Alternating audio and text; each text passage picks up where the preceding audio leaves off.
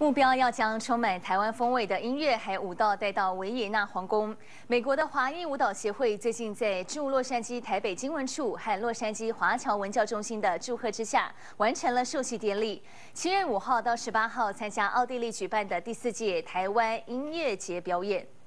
除了去维也纳、奥地利以外，我们还要前往匈牙利，还要去捷克。三个国家这样，在这个过程当中，我们因为是有点代表国家，所以我们很努力的在这两支舞蹈上下功夫。我们希望他们借着国际舞台，能够把我们台湾的多元文化，尤其是我们的原住民的舞蹈，能够介绍给我们国际友人，那也能够成为我们推动国民外交一个最主要的一个力量。